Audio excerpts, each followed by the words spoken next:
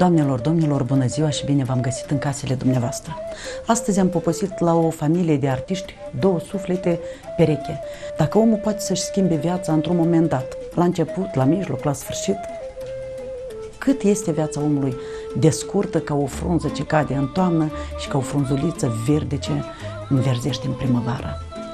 Am poposit în casa doamnei Iulia Paleț și Nicolae Paleț. Bună ziua și bine v-am găsit! Bună ziua și bine ați venit! Vă mulțumim că ne-ați primit în casa dumneavoastră. Emisiunea noastră Suflet de Artist vrea să cunoască sufletul dumneavoastră, măcar o părticică din el să-l deschideți telespectatorilor noștri. Sunt multe emisiuni muzicale. Astăzi o să punem și noi pe post muzica interpretată de domnul Nicolae, pe versurile poate a dumneavoastră, pentru că majoritatea pieselor sunt scrise de dumneavoastră, textele, și o să luăm două, trei melodii dacă reușim. Dacă nu, o melodie, două, dar vreau să vă deschideți măcar un pic sufletul, să vă cunoască lumea altfel. Pentru că eu când eram mică mă închinam în fața unui artist și îl vedeam, nu știu, ca un idol. Acum mu- sunt foarte mulți artiști, dar nu cunoaștem cum gândește artist, artistul, cum trăiește artistul, ce gânduri îl frământă, ce vise are, poate realizate, nerealizate. Și să o începem, dacă îmi permiteți, domnul Nicolae, de la doamna Iulia, cu poezia dragă sufletului meu și la toată lumea dragă, poezia se lasă răceală iubite, dar în casa dumneavoastră e atât de cald. E așa, de fapt, poezia este o stare de suflet. De multe ori am fost întrebată și mai văd și alți poeți sunt întrebați dar ce a vrut să spună când a scris poezia una sau alta? Eu nu știu dacă am vrut ceva să spun. Asta a fost o stare a mea de spirit, pentru că eu sunt, de fapt, o fire mai sensibilă, aparent sunt energică și plină de viață și chiar veselă, pentru că mai am și simțul umorului dezvoltat, dar undeva în interior există o tristețe care periodic mă vizitează și chiar mă apasă. Și vreau să vă spun că tocmai în aceste momente eu pot să scriu mai bine. Nu îmi place timpul de afară ploios, cum este astăzi și cum a fost ieri. Îmi plac zilele cu soare, dar Uite, tocmai în momente de felul ăsta eu, eu pot să spun ceva, să creez ceva și starea asta ă, te apasă în permanență până nu reverși pe o foaie de, de hârtie. Doamna Palin, vreau să vă întreb, când ați scris această poezie, erați împreună cu domnul Nicolae în perioada aceea? Ă, nu eram împreună cu Nicolae. De asta și, l-am întrebat. Da, și era o stare mai complicată a mea, în o perioadă mai complicată în, Dar a trecut. în viața mea. Dar slava Domnului că a trecut, totul este bine și oricum, chiar și, și acum, poeziile uh, scrise astăzi au o notă de melancolie. Și ar fi bine să o reciți astăzi și în, în textele mele de cântece, oricum se, se întrevede, uh, pentru că și Nicolae este cam aproape de starea mea uh, spirituală și el uh, simte aproape ca mine și de asta el probabil redă cel mai bine ceea ce scriu Dar haideți eu. să ascultăm poezia dumneavoastră pentru că e tare sensibilă. Este și o romanță, știi?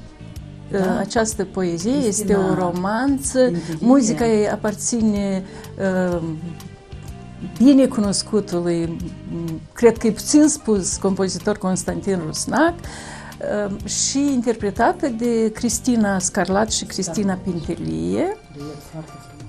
Un duet foarte frumos și și o romanță care este apreciată destul de înalt de iubitorii de romanță. Se lasă răceala, iubite. O piatră sfărmată între noi întunecă gânduri pripite, iluzii urzite în doi. Nu ești și mă doare tăcerea. Destinul nu pot să-l opresc. O lacrimă îmi surpă durerea, trecută prin spațiul lumesc. Iubite, nu vreau să te chem. Pornit ești pe calea cea bună. Aș vrea doar atât, să te îndemn, păzește-te în drum de furtună. Se lasă răceala, iubite, și ninge pe creștetul meu. Iubirea rămâne în cuvinte și robi îi vom fi, tu și eu. Foarte frumos. Am să trec acum la domnul Palit și am să vă întreb, domnul Nicolae, ce înseamnă viața asta? Ajungi fiind noi toți la o a doua tinerețe, ce este viața? Păi, de fapt, e greu să faci o definiție pentru ceea ce este viața, fiindcă viața fiecare o concepe și o percepe fiecare în felul lui. Oricum, viața este dată odată omului și dacă este capabil să o trăiască frumos, este bine. Dacă nu, sigur că este pentru el o tragedie, să zic așa, o nerealizare, fiindcă în cele din urmă omul dacă în viață este capabil să mai facă ceva și să mai lesă sau... Dar în câteva cuvinte, viața este în cele din urmă o familie, viața este niște copii, Nepoți. nepoți și de fiecare dată omul vrea să aibă o viață fericită. Dacă este sănătos, deja este. În popor se spune că Dumnezeu dă omului tot, dar omul singur trebuie să facă un efort ca să-și contureze viața, să-și aleagă cărărușa sa. În familia dumneavoastră a fost la un moment dat o întorsătură. A fost spre binele sufletelor dumneavoastră? Da, desigur că. Ați avut mare îndrăzneală, pentru că oamenii care vor să-și schimbe radical viața au îndrăzneală. Înseamnă că sunt creatori a propriei sorți. Deci, ai dreptate atunci când spui și te referi la tradițiile populare că Domnul pune în noi tot ca să putem uh, trăi aici frumos. Deci, dacă știm să căutăm în sine, să găsim până la urmă ceea ce a pus Domnul uh, și să facem armonie cu sine, pentru că asta este cel mai greu în viața noastră, cel mai greu ce poate face omul este să reușească să facă armonie cu sine. Atunci multe sau poate chiar toate problemele vieții uh, dispar. Uh, cred că este și uh, treaba părinților să vadă în copilul mic ceea ce a pus Domnul, să intuiască, să urmărească, să poată să-l aducă pe copil la calea lui. Într-o familie, vă întreb ca să audă și telespectatorii noștri, cine trebuie să fie mai puternic? Pentru că oricum o, o balanță este, dar cineva din familie oricum trebuie să fie mult mai puternic sau măcar un pic puternic. În familia dumneavoastră, cine este mai puternic? Păi vreau să vă zic că așa, de obicei, așa e lăsat de la natură. Adică când am stat să facem o analiză, mă rog, femeile și femeilor le place să spună că ele sunt mai gingașe, că ele sunt mai fine, că bărbatul trebuie să fie mai puternic, trebuie să aibă, să fie în spate la o, un bărbat puternic ca să fie o casă puternică și trainică. Dar nu întotdeauna așa se întâmplă. Și atunci noi ne împăcăm cu gândul. Noi de ce așa zicem? Noi vedem case și familii unde coșul cântă în casa lor femeia. și invers. Cântă Dar, găina. Da, da, zic, cu coș este, adică, mă rog, eu m-am explicat. Femeia cântă ca și cu coșul. Ca și cu coșul, da. și eu ziceam că, de fapt, este și aici o salvare. Atunci când într-o casă este un bărbat mai slab sau este un bărbat mai des, nedescurcăreț. Într-o casă, de fapt, între doi să alege cel care este lider. Când știu unul pe celălalt să, să, să simtă să cedeze unul altuia, să... Dumneavoastră cedați des în, în fața doamnei... Da, întotdeauna. Tot timpul cedați? Tot timpul, da. da eu, el e cel mai slab în casă, dar el cedează totdeauna, absolut. Da, noi de felul nostru suntem uh, două Doi vărsători. Două, două persoane. Uh, vărsători sunteți. Două, la mulți ani. Doi vărsători și toți uh, de ăștia care le place să fie lideri și Adică nu știu dacă toți vărsătorii sunt lideri, dar este pur și simplu, zic eu, că atunci când sunt două zodii la fel, sunt doi oameni la fel. Dacă să zicem, uh, uh, de felul lor sunt la fel, în sens că dacă sunt impulsive și unul și altul, sau dacă sunt melancolici unul și altul, da. oricum trebuie Dar să suporte și unul Totuși, dacă revin la gândul meu cu armonie, începem de la armonie personală cu sine și apoi trecem la armonie în cuplu. Dacă reușești să te împaci cu sine, atunci cred că reușești și în cuplu. Uh, două personalități într-un cuplu este destul de complicat să, să existe, dar este și destul de interesant, destul de frumos dacă într-adevăr știi să simți sufletul celui din preajmă. Pentru că într-o familie egoismul și egocentrismul uh, distruge, distruge familia. Dacă măcar unul este egocentrist, atunci nu aștepta bine în, în această familie. Uh, cel puțin eu sunt de principiu că femeia trebuie să trăiască cu problemele soțului și, și soțul să trăiască cu problemele soției. soției. Ce înseamnă pentru om totuși credința creștină cu care suntem botezați? Eu mai mult aș pune accentul pe credință decât să specificăm, da, noi suntem creștini, ținem la această religie și așa am fost botezați și mergem la bisericile noastre, respectăm Biblia și modalitatea sau felul cum este tratată de către creștinii noștri ortodoxi. Dar există și alte religii pe care, de exemplu, eu nu le neg, eu nu mă duc acolo. Dar nu le neg, dacă oamenii au necesitate, să zicem, există budismul, există uh, altă religie iudaică, nu-mi place atunci când în stradă sunt oprită, uh, acostată, Așa. considerând că ceea ce zic ei și credința lor este cea mai corectă și uh, eu ar trebui să dau importanță la ceea ce crede ea. Uite, asta cred că este o greșeală. Da, dacă e vorba, de, fapt, dacă e vorba de, să zicem, de societate și de aceste secte, nu știu dacă este treaba noastră a oamenilor de cultură, a, știu eu, chiar și a creștinilor, să facem ordine în uh, lucrurile astea. Există uh, organe, abilitate cu uh, dreptul de a face ordine. Să ne întoarcem un pic la creație.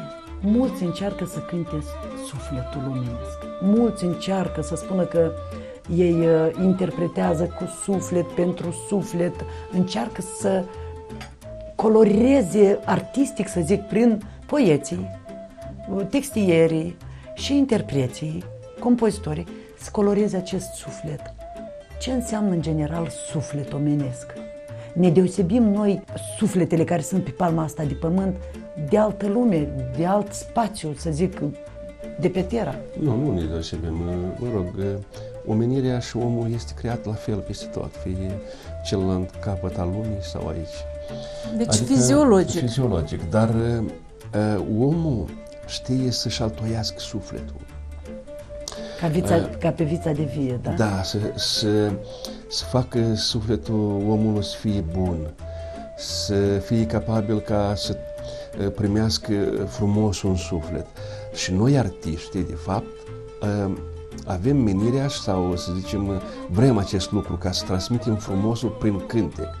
Fiecare om, să zicem, să transmite frumosul prin poezie, prin pictură, prin uh, Oricum, artă. există propria ta simțire și sufletul este o energie, tot mai mult se vorbește despre asta și dacă această energie este alimentată cu energie pozitivă din jur, din știu eu, din tot ce facem noi și ce suntem noi, atunci putem să influențăm și pe alții pozitiv. Dar omul de artă, el este obligat să facă asta. Creșterea spirituală a noastră, creșterea sufletului nostru, vine din alte religii sau confesiuni sau filozofii de viață, se spune că vin din viețile anterioare trăite pe pământul ăsta. Dumneavoastră credeți în reîncarnarea sufletului? Se spune că nu putem păși în rai, se spune, până nu ajungem la un nivel de dezvoltare spirituală cât mai înalt. Dumneavoastră credeți în reîncarnare? Credeți că ați mai avut vieți anterioare pe care le-ați trăit și a, în această viață ați luat experiența vieților trăite? Firește că despre acest lucru se vorbește foarte mult. La moment, cam să zicem că știm ori nu știm, este greu de spus, dar din ceea ce trăim și în ceea ce vedem și în ceea ce simțim, fiecare om își face o concluzie și eu am ajuns la concluzie că, pe adevărat, așa este. Sufletul este, în cele din urmă, ceva uh, uh, care în permanență se perfecționează sau în permanență crește spiritul și sufletul omului. Dacă e vorba de reîncarnare, această idee vine din alte științe, din alte religii, deși eu sunt tentată, Nicolae a spus foarte corect, că nu avem de unde ști nimeni exact, pentru că încă n-a venit nimeni de acolo să vină să ne spună sigur ce este, cum este acolo. Dar creștinismul zice că există viață veșnică a sufletului și că noi am venit aici pe pământ în această formă, e o executie, Așa. dată de Domnul, altar, creștinii spun altarul altar, sufletului. altarul sufletului dat de Domnul, ca să ne putem crește aici, prin, trecând prin toate problemele uh, terestre, pământești, uh, vieții pământești, să creștem sufletul și să adunăm cât mai mult uh, pozitiv la, la acest suflet, la ceea ce ne-a pus Domnul inițial. Și să zice că acolo sufletul, dacă tu îl aduci la un nivel uh, înalt aici de pozitivism, atunci când pleci acolo, uh, sufletul tău poate rămâne veșnic, exista veșnic. Acum, uh, cu fizica cuantică și cu toate descoperirile, se vorbește că aici pe Pământ există alte dimensiuni, paralele. alte dimensiuni paralele pe care noi nu le simțim, nu le vedem, nu avem uh, cum și dreptul. Și uh, să zice că uh, și cei trecuți dincolo, lumea cea de dincolo, la fel trec într-o altă dimensiune de unde ne-ar vedea, ne-ar ajuta, ne-ar urmări. Sperăm să ne urmărească, să ne dea sfaturi prin vise, dar să nu depășim limita, să nu trecem noi dincolo înainte de vreme și ei dincoace, pentru că e mai periculos. Oricum, în toate voia Domnului, când a vrut El am venit și prin cine a vrut El am venit. Și Vom când pleca, vrea El, că... plecăm și cum plecăm știe doar El. Păi, dar este destul de clar că sufletul este o energie. Și Și această energie, dacă știi, să acumuleze pozitivul și noi avem cât mai mult pozitiv și cât, frum, cât mai mult frumos în această energie, firește că această energie uh, ca bumerangul vine da, înapoi la tine și va trăi ai... cât mai mult și, poate, și este vorba de reîncarnare. Acolo unde se acumulează energie negativă, firește că această energie negativă se distruge. E destructivă. Da, și deci, ea, ea sunt sigur că se va distruge. Și... Când iese din uh, acest altar, acolo tot probabil se, se distruge, pentru că uh, dacă Asta faci, tu ziceai de, da. da, de bumerang, că dacă faci mai mult bine, binele îți vine înapoi ca și bumerangul. La fel și rău. Pe toți interlocutorii mei îi întreb ce înseamnă dragostea de neam, de țară, de pământ și dacă aveți un tricolor în casă. Uh, un tricolor avem în casă. Dragostea din neam, uh, este, asta este o chestie foarte importantă pentru un om. Că dacă omul trăiește cu dragostea și din neam și dragostea de ceea ce este el și dragostea de țară, firește că el trăiește un om cu demnitate, trăiește cu demnitate, de fapt. Dar ea se educă această dragoste din copilărie, de la cei șapte ani. Când se educă această păi e, e, Pentru că în timpurile noastre, tineretul încă am impresia că nu tot majoritatea are aceast, acest sentiment, nu, nu-l are Păi profund. anume cu familia să începe acest lucru, dragostea de, de, de părinți, dragostea de casă, de casa părintească, dragostea de familie, pe urmă se, se extinde această dragoste, dragoste de țară și dragoste din tot ce, ce te înconjoară. Fiindcă în cele din urmă, ceea ce suntem noi, ă, noi însăși reprezentăm, suntem ă, exponenți și reprezentanți acestei noastre, acestei societăți, acestei țări. Și dacă suntem ă, capabili să să facem o continuitate a lucrurilor, suntem sigur că Tocmai este foarte bine. asta e problema noastră, că noi suntem cam puțin capabili să facem asta, pentru că eu știu uh, uh, popoare unde uh, cimitirul este modalitate de educație, o metodă de educație și știu copiii până la, până la, până la a cincea, a șasea generație mormintele străbunilor. Știu, iată, arborile genealogic, noi, majoritatea, dacă îl cunoaștem, la treia generație. Dar unii, nici la a doua, bunei care s-au stins din viață și puțin părinții vorbesc despre înaintașii noștri și puțin uh, spun, uh, mergem, chiar dacă mergem, avem uh, sărbătoarea care este foarte frumoasă. Chiar suntem în și în ultimul timp Și în ultimul timp cam s-a transformat această sărbătoare într-o demonstrație de orgolii, de Vorbiți de Paștele Blajinilor. De Paștele Blajinilor e vorbesc. Corect, doamna Iulia. Cât de pomeni și cât de scumpe sunt, este important acolo. Dacă ai spus copilului, uite, acolo este răstrăbunelul tău, înmormântat și uite, el a fost ăsta, ăsta, îi vorbește de tot ce a făcut el bun și ce a făcut el frumos. Și copiii și, trebuie luați Și copiii trebuie luați acolo. Exact, nu numai la și, și nu doar luați, spun, da. explicați. E, da, și trebuie implicați atunci când se face ordine la cimitir, când mergem la cimitir să ne amintim de cei care au trecut din viață Copiii în permanență trebuie să vadă lucrurile frumoase din familie, să-i luăm la nunți, la petrecerile. Altă dată când se mergea la anunțele care se organizau în sat, firește că erau vornicel și vornicică sau druștile și vornicei și aveau uh, aceste obiceiuri și tradiții frumoase ca să, uh, să mergem la nuntă, să fie, să zicem, însemnați că este bornicica cei mari. stătea până la întuneric și plecau acasă. Da, este păi și da, o, era o, o lege. Acum, da.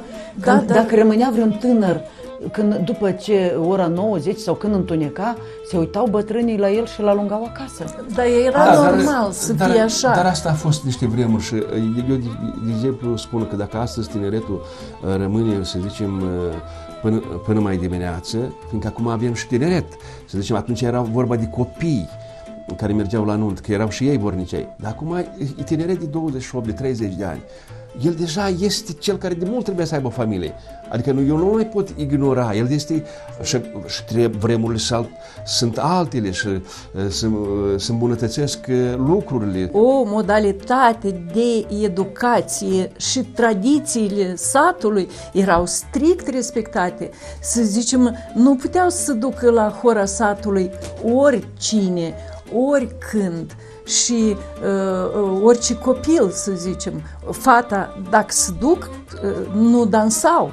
Fata uh, juca la hora satului doar când avea o vârstă anume, când atingea majoratul și când o scotea la horă un băiat, o Dacă rudă ne ascultă sau acum cineva. tineretul, o să spună că suntem demodați. Uh, Suntem, Da, este corect. Știi de ce am vorbit despre patriotism? Uite, asta este ceea ce uh, uh, știrbește din uh, Dragostea sentimentul aceasta ăsta de, de, patriotism. Bun simț care îl are de bun poporul simț. nostru. Hai să zicem, nu la Horasatului, dar când acum am transformat, uh, să zicem, chiar nunțile, le-am transformat în ce? Pentru că uh, nunta era o, o, un discoteci. spectacol, era un spectacol, dar fiecare ritual avea o semnificație și oricare știau, stai, uite acum uh, se chiui la șase dimineața, a urcat mireasa în, uh, în căruță și o duc la mire. Deci fiecare membru știa aceste tradiții și ce semnificație au. Da, acum, acum ce se întâmplă? Ce semnificație are Eu... ceea ce mă revoltă și îmi place Da, să lăsați-o, să doamna vorbesc? Iulia, să-și spună revolta. Doamna Iulia, Deci, aveți dreptul. uh, ce semnificație are uh, scoaterea jartierii uh, de la, de la uh, locul cel mai intim și detaliul cel mai intim a miresei, mireasa cu rochii lung, vedeți, Doamne, e din secolul XIX, da, și la un moment dat ridică poalele așa până la uh, umeri, deci dezgolește tot acolo, uh, mirele cu dinții, nu așa, scoate această jartieră, Dacă ar venea bunii noștri, cred că ar ar murea de leșina, rând. Ar din nou ar muri. Deci, și uh, nu, și mai departe, ascultați mai departe, ia uh, jartiera, o dă pe la nas, pe la toți uh, uh, bărbații de acolo, tinerii, Mamă, dragă. și apoi o aruncă unui bărbat să o prindă. Deci spuneți-mi ce fel de demnitate are acest bărbat? Ce demnitate? Noi vorbim acum de, de demnitate. Cum poți tu Este- să iei de la... uh, Persoană, mireasa străină, de la, femeia nu, de străină. la mire- mireasa ta, de la persoana pe care o iubești și care uh, îți devine azi soție, să iei o un detaliu intim și să-l dai altui bărbat străin. Noi, e, mă rog, mergem la anunț și suntem cei care suntem implicați. Eu li- ziceam întotdeauna, pur și simplu tineretul nu știe acest lucru și eu îi întreb, ce înseamnă acest obicei? Păi noi l-am văzut nu știu unde, în America, nu- nu știu unde îi spun. Și ce semnifică? Nu știu. Și dacă copilul nu știe și părinții nu îi explică, Dar copiii nu ascultă părinții. uite. nu, nu, nu. Eu vreau să vă zic, eu am nunți care uh, stau de vorbă cu mirele și mireasa, da? Și ei uh, facem, mă rog, despre ce o să fie la nunt, cum merge și mai departe. Și când ajungem iată la momentul ăsta, firește că este uh, aruncatul buchetul miresii.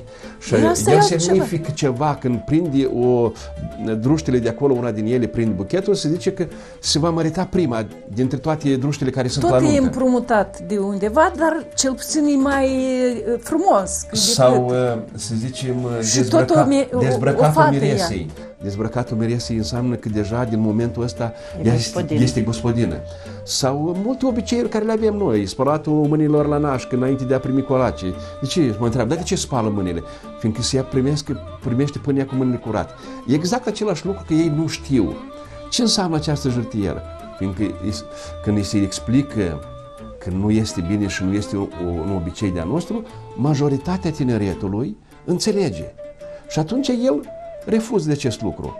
Eu nu doar că, la că nu e de al nostru, nu doar asta, să zicem, hai că mai păi, împrumutăm. Ceva semnifică, noi nu-l cunoaștem și este, nu este Lipsit de demnitate, absolut, a unui bărbat, îl lipsește pe un bărbat de demnitate. Repertoriul cu care mergeți dumneavoastră în fața oamenilor la nuntă uh, este adecvat și este strict uh, ce ține de toate datinele noastre la nuntă, de obiceiuri, sau mai puteți cânta la o nuntă și o romanță chiar sau un vals, un tango? Exact, e frumoasă întrebarea. La nuntă se cântă orice. Uh, cei care merg la nuntă, ferește că merg uh, uh, pregătiți pentru a cânta celor care s-au adunat. Și dacă se licită un vals, trebuie să-l cântăm și un vals, și un tango, și o romanță. Momentul e ca noi am vorbit despre ce, ce era nunta altă dată. Și noi vorbeam când eu am cântat la nunți de mic copil și știu sigur că fiecare obicei era însoțit de un cântic anume. Și iată, uneori ne, ne întrebam, să vorbim că iată când să, uh, să aude cheuind, înseamnă că se urcă mireasa. De o melodie. De, o melo- de un cântec, de o melodie. O da, melodie. Adică de o melodie. Fiecare avea melodie. sa? Fiecare, da, obicei, dezbrăcatul mireasă era o melodie care se cânta, acum se cântă cu cuvinte, altă dată se cânta numai o melodie instrumentală, sau uh, se joacă prosoapele la naș, era o melodie, sau să zicem... La găină? Da, sau la găină este altceva. De aceea satul deja se știa că, uite, dacă se cântă melodia cu tare, să începe masa cea mare, acel care n-a reușit să ajungă la nuntă se grăbea că, uite, să începe de grabă masa cea mare și încă noi n-am ajuns la nuntă. Să, erau niște lucruri care uh, satul, nunta s auzea pe tot satul. Se auzea uh, cânticele era și fără melodii. aparatură, domnule. Fără aparataj. Era, era fără așa, aparataj, era dar era așa, frumos. Se auzea doba, se auzea trompeta și multe alte instrumente. Era așa, e adevărat. Uh, noi nu suntem uh, mai catolici decât uh, Papa de la Roma și să zicem că așa cum a fost atunci, exact trebuie să fie acum. Noi suntem în secolul 21. Deci nu mai este nunta de trei zile, nu mai sunt chiar toate ritualurile, pețitul și alte, scoaterea zestrii și multe altele, dar ceea ce e posibil în nunțile noastre, cei care își dau seama că putem să aducem în actualitate tradiția, se adaptează. Da, sau Ori... multe, multe obiceiuri se mai păstrează la nunțile noastre. Iată, eu vreau să spun câteva momente, fiindcă ne, ne, ne privește foarte multă lume. De multe ori, la nunțile noastre, mă rog, să fac, să organizează diferite jocuri și așa mai departe. Ei, fiecare își face cum dorește. Îmi amintesc la unul din nunți când, să zicem, mirele și cu mireasa zicea că noi să avem obiceiurile cu tare și mai departe, dar am vrea cum vă uitați la jocul ăsta când e furată mireasa. Și eu le zic, da, furatul miresei era de altă dată ajuns până în zilele noastre pe adevăratele. Cu adevărat se fura mireasa. Nu că să faci un joc, cum astăzi încercăm, dar să fura mireasa cu adevărat. Atunci când părinții căsătoreau doi tineri și mireasa nu le iubea pe cutărică, pe, eu știu, dar ea avea un alt băiat sau băiatul o iubea pe, să zicem, pe, pe fată și ei puneau la cale, uite, vii și mă furic, fiindcă tata vrea să mă mărite, părinții vor să mă mărite cu un alt băiat poate fi chiar și un străin din alt sat, care în genere nu l-a văzut, nici nu-l cunoaște. Este o chestie foarte serioasă. Și acum s-a transformat într-un într joc la nuntă. Și eu mi amintesc că discut cu, cu, cu Miri și zic că nu știu dacă este cazul să facem acest joc. Că în cele din urmă... Nu, dacă vrea Mirile, să facă. Da, dar uh, uh, Mirile tace, Mireasa la un moment dat zice, dar eu vreau să mă fure. uh, uitați-vă care a fost uh, reacția Reacție. Mirilui. Deci că nu, noi nu o să facem uh, acest lucru. La noi nu se fură mireasa, domnul Nicolae. Noi trebuie să altoim dragostea de obiceiuri, ce înseamnă nuntă, ce înseamnă botez, ce înseamnă biserica în cele de om, de ce mergem la biserică, de ce este bine și frumos să... să Oricum, domnul Pale spune că biserica omului este în sufletul lui. Da. Rugăciunea poți să o faci în fiecare zi, oriunde nu te-ai afla. Nu, nu, zic, nu poți, dar, dar trebuie. Trebuie. Nu să aștepți să doar când te duci asta de ceea ce avem noi. Iată, și asta este, de fapt, patriotismul și asta și este dragostea de familie, de părinți, de țară. Dacă ai dragoste de familie, de părinți, de străbuni, de buniei și de tot ce te înconjoară, noi am vorbit de că am mers la, mergem la cimitir, mergem la biserică, mergem la anunț, la diferite ceremonii de familie, dacă avem dragoste de tot ceea ce ne înconjoară, asta este dragostea noastră de țară, de meleag și de plai. Să ne întoarcem la măsuța cea cu trei picioare de lemn Ați avut-o dumneavoastră, sunt sigură, pentru că sunteți dintr-o familie cu mai mulți copii. Doamna și Iulia, eu am avut-o. Și dumneavoastră ați avut-o? Chiar dacă eram doar una. Dumneavoastră veniți din raionul Ungheni, satul Cetireni, dar dumneavoastră veniți din... Din Trușeni.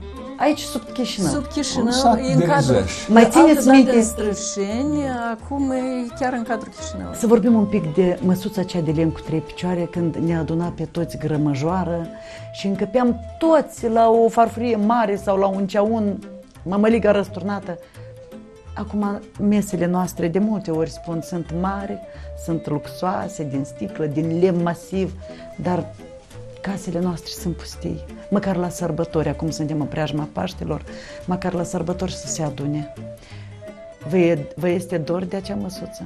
Cum era pe timpul copilăriei dumneavoastră? Așa, da, câteva fraze. Vreau să vă zic că mie îmi place să vorbesc despre părinții mei, și de fapt avem uh, mai multe cântice, pe versurile Iulie, mai multe cântice despre părinți. Dar puteți să ne fredonați ceva dacă știți așa A, pe da, viu? sigur că da, da. facem. Salcănaș cu frunză deasă, lasă-mă să într-un casă. În căsuța cea cu tindă, dorul stă bătut în grindă. Că de când am fost pe acasă, ți-a crescut frunza mai deasă și s-a întristat icoana într-un colț pusă de mama. Da port în gând icoana și o văd pe mama, cum își așează în frama. Tânără frumoasă, mulți copii la masă, miros de gutui în casă. Când mi-e inima pustie, mă întorc în copilărie și învăț urorile frumoase ca florile măi. Dar frații gălăgioși tare, între ei era mai mare. Mai mare băiat în casă, tata mă lua la coasă. Da port în gândicoana și o văd pe mama, cum își așează năframa. Tânără frumoasă, mulți copii la masă, miros de gutui în casă. Dacă nu-i nimic mai scump pe lume decât cei ce ți-au dat nume, Nopțile te-au legănat și sufletul ți l-au dat, mai decât casa și cuptorul, unde încolțește dorul, decât prispa și portița, unde te așteaptă măicuța. Da port în gândicoana și o văd pe mama, cum își așează năframa. Tânără frumoasă, mulți copii la masă, miros de gutui în casă.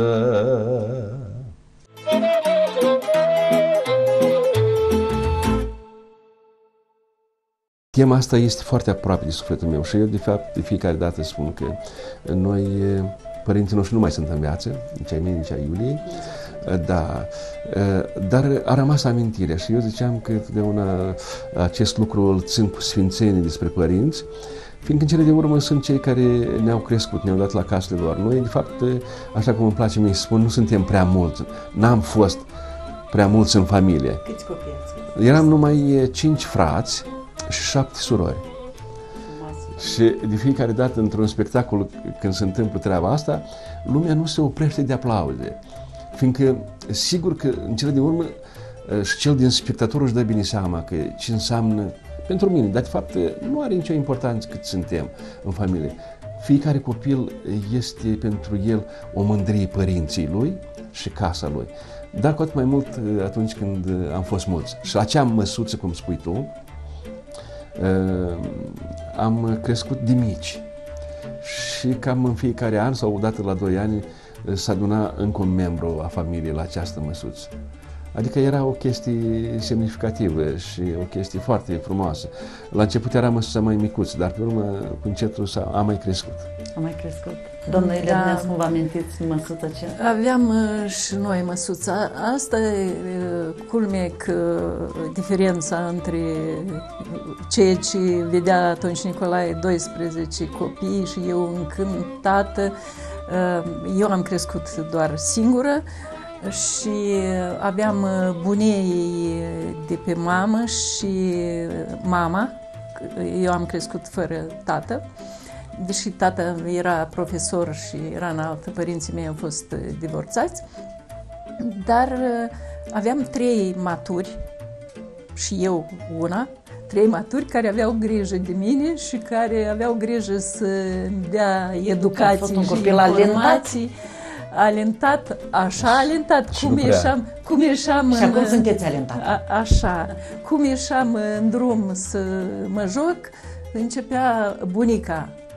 Vin acasă că avem treabă. Eu eram pus la treabă, așa și foarte, foarte activ. Împreună cu mama făceam toate, tot lucrul de acasă Era și în casă, și în casă și uh, afară chiar și lucruri de bărbat, buni, ei erau mai în vârstă și nu prea puteau deja. Și eu uh, am muncit foarte, știu toate uh, problemele și lucruri din gospodărie și din casă și de afară. Să ne referim la, nu la părinți, dar la bunei, dacă îi mai țineți minte dumneavoastră. Ce fel de oameni erau? Da, eu- Generațiile cele mai Da, vechi. eu să n-am, zic. n-am avut bunei nici de pe linia mamei, nici pe linia tatei. Bunei mei s-au dus de vreme în lumea celor drepți și, de fapt, maica mea povestea că când au murit bunei, adică părinții ei, ei era singur un copil. Eu nici, mă rog, exact aceeași treabă și pe linia tatei. Dar ei au vorbit atât de mult despre bunei, fiindcă noi ne, îi, îi, am rămas cu imaginația. Și apoi ne mai vorbeau vecinii și ne mai vorbeau uh, satul. Dumneavoastră sunteți pe malul Prutului. V-au Da. povestit părinții dumneavoastră, au trecut vreodată Prutul în partea cealaltă pe timpul sovietic? Sau Uh, înainte de... Nu, ei n-au trecut niciodată. Pe vremea sovietică n-au fost niciodată în partea Nici cealaltă. rude nu aveați. Mama lui de- avea Dar o mama soră. mea, a, a, răsică, avea o soră a, la Pașcani, care în 69 a venit în ospiție. Adică atunci când, mă rog, a fost plecarea asta, s-au retras puterea sovietică, vă zic, ultimatul ăsta și o parte din, din populația Basarabiei s-a retras în România, nu este vorba că sora mamei a plecat și ea, dar ea era în ospiție la Iași, la cineva, la, Și a rămas acolo. la, la un naș, la niște nași de botez. Era în ospiție și iată, exact în momentul ăsta a fost și a rămas acolo. Și, și maica mea și mai avea o soră aici, erau trei, trei surori, de fapt cu ea aceea era patra, acele trei surori de aici nu mai știau nimic. S-a închis hotarul și s-a terminat uh, orice. Și nu mai știa nimic de ea, într-adevăr.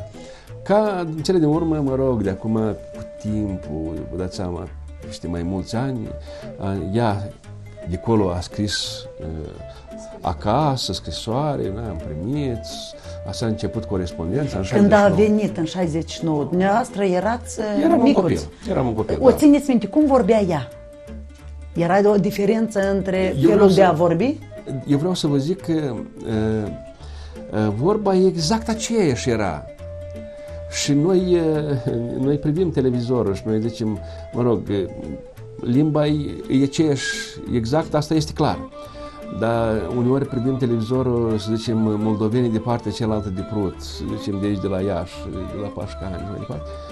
Și uneori nu se sezăm, parcă cineva de la noi de aici vorbește. Noi avem acela... Doar că ei vorbesc fără rusisme. Fără, Noi da, băgăm, dar e aceeași ai vorbă, noștri bagă aceeași ruși. vorbă frumoasă și firește că da, asta e... Eu aș vrea doar două vorbe și despre bunei mei. Da, că sigur că s-a vorbit despre bunei lui Nicolae. Bunei mei de pe mamă au fost uh, oameni gospodari, oameni simpli.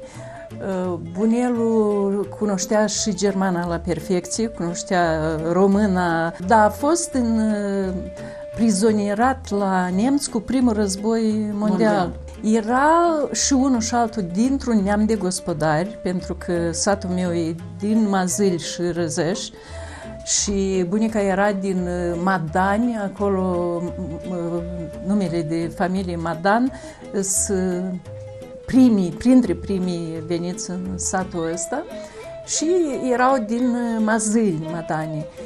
Și uh, Răzăș, oameni uh, cu cultură avansată, chiar dacă erau simpli. Dar uh, bunei de pe tată, bunica era uh, învățătoare uh, și mulți, mulți ani, au lucrat 50 și ceva de ani în, în școală.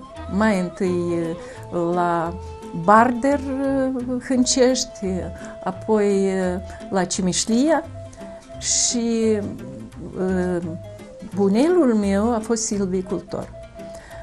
Uh, Avea absolvit Academia Silvicolă din Sankt Petersburg și a fost silvicultor la Barder.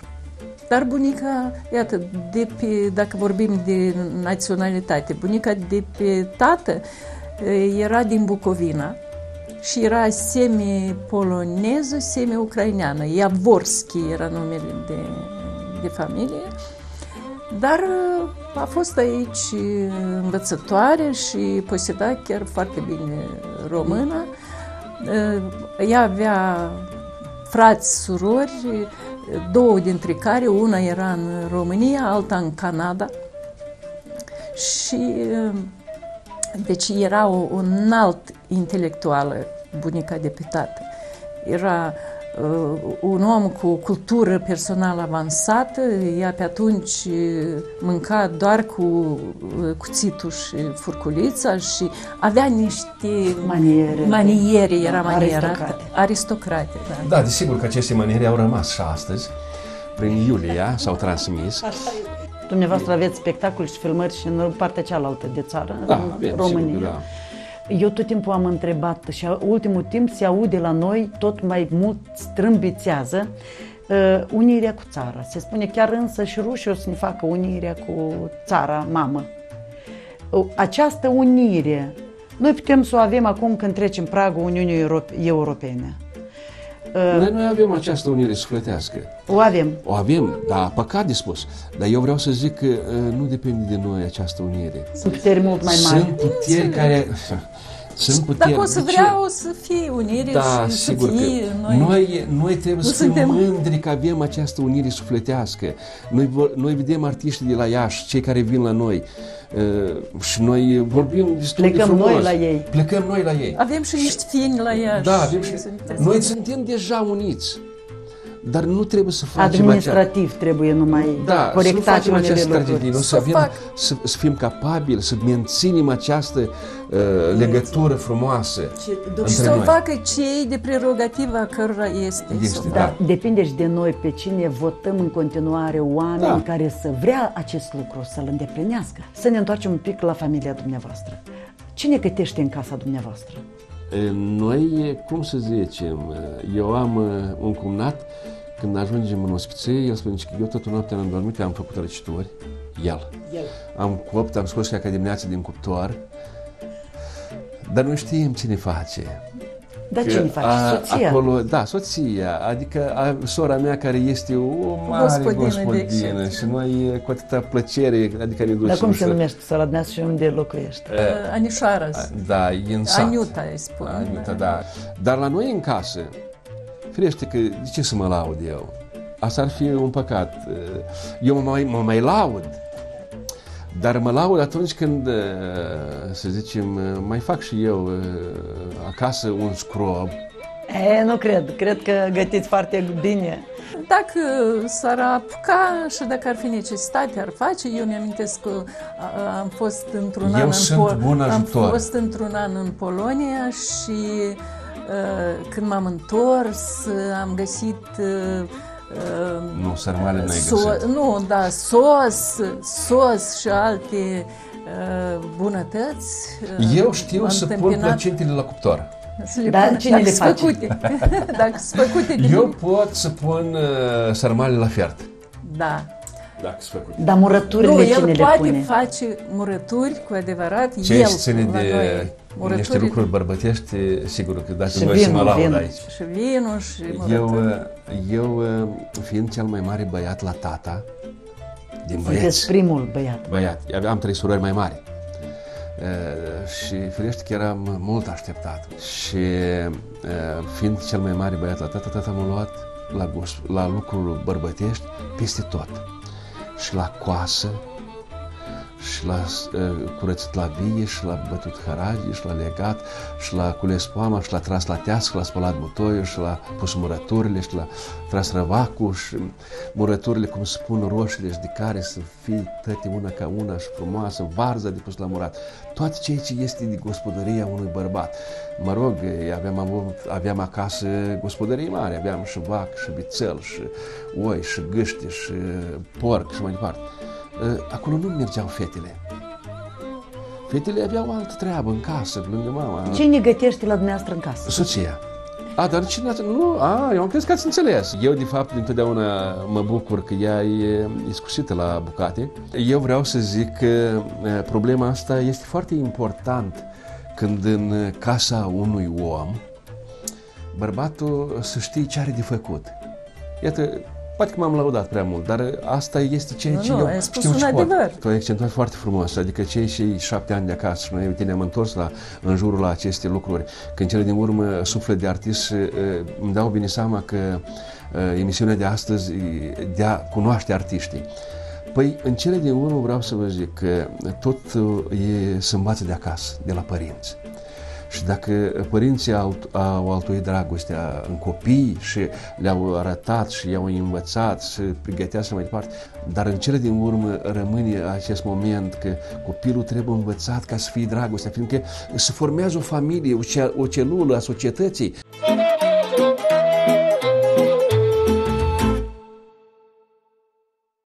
Sunteți două personalități diferite, poate uh, din lumi diferite, paralele, să zicem așa, în ghilimele, dar care s-au unit și ați format acea celulă a societății care faceți un lucru bun și educativ și spiritual pentru cei care vă ascultă, da? Se spune că dragostea ține o perioadă de 3-5 ani. Acum când sunteți împreună, Dumnezeu va uni două suflete. Dragostea, în ce s-a transformat?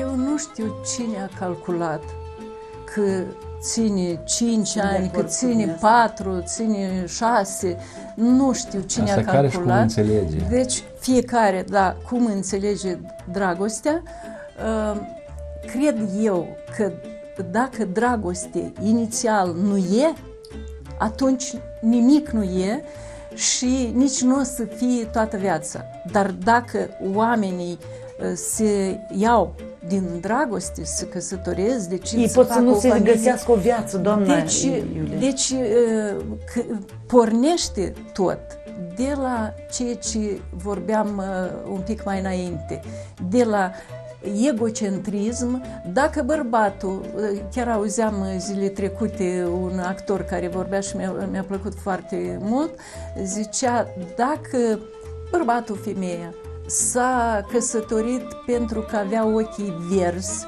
pentru că avea părul des și negru, pentru că avea picioare lungi, pentru că nu știu ce, cu timpul toate astea trec. Și atunci, da, bineînțeles, că părul nu mai este atât de des. că Picioarele se mai scurtează. Mai, se mai scurtează, Sau, uh, se mai deja îngroașă, încărunțează. se mai Încărunțește. încărunțește, încărunțește, picioarele se mai îngroașă, Ochii se mai nu tulbură. se mai tulbură, se mai schimbă toate și atunci, da, dragostea, dacă s-a schimbat peste 5 ani, peste 5 ani o să fie. Dacă nu ții cont, de, a- am vorbit mai înainte și asta este toată regula Esența. e și esența.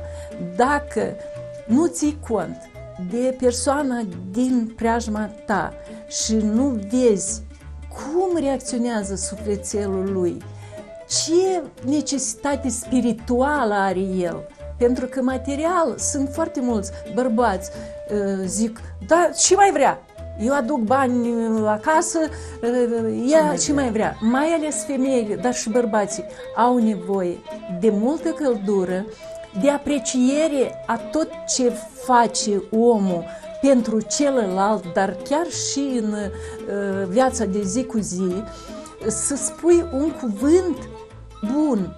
Viața e frumoasă, Frumoasă, draga draga mea, mea, și omul e ca pasărea. Câte tânări zboară până la cer, la bătrânețe este îngher. Viața e o poveste, să o trăim din plin, aș vrea, iubita mea, să-mi spui cu drag că mă iubești. Dragostea e piatră rară, nu o găsește omul unde vrea. Iubita mea, frumoasă ești și mă omori când mă privești.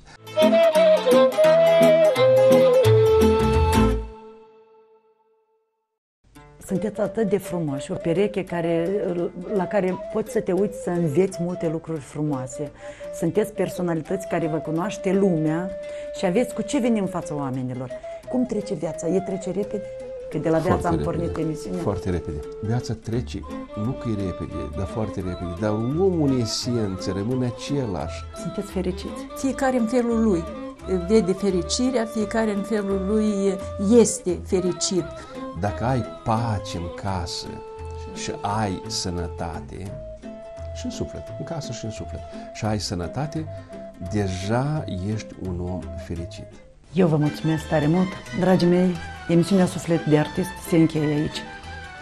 Sâmbătă viitoare o să avem un alt invitat și o să poposim în altă casă. O zi frumoasă vă doresc și nu uitați, Vocea Basarabia este vocea care vă pătrunde în suflet și în case în permanență. Priviți Vocea Basarabiei. La revedere! Colo în vale la fântână, o fădorule măi, Mi-a ieșit în caliun moș bătrân. Ținea un toiag în mână, o fădorule măi, Și-a început să-mi spună din senin. Să ții minte de la mine fă în viață numai bine Și să lași o urmă pe pământ Tu să construiești o casă Să ai copii lași la masă Să n-arunci băiete vorba în vânt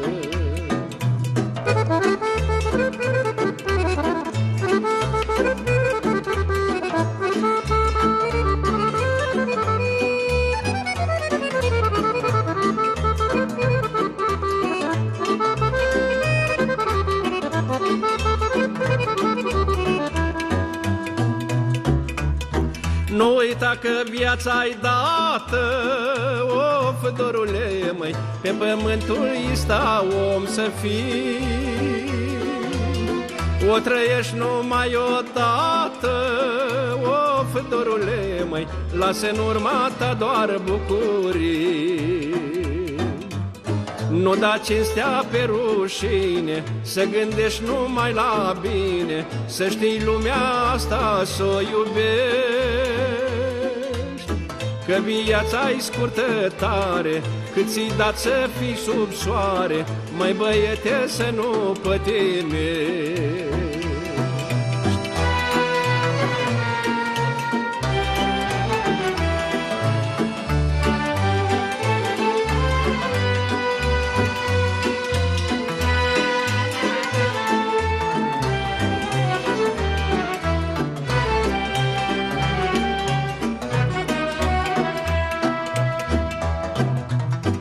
Orice om să-ți fie frate Of, dorule, măi De părinți tu să nu uiți nici când. Și să lupți pentru dreptate Of, dorule, măi Să le faci pe toate rând pe rând. De să faci aceste toate N-ai să ai multe păcate Mai ușor prin viață ai să treci Lumea o să te cinstească Și de bine o să vorbească Chiar din lumea asta dacă pleci. Mi-a spus moșul cu durere Nu strânge multă avere O fântână fă dintr-un izvor.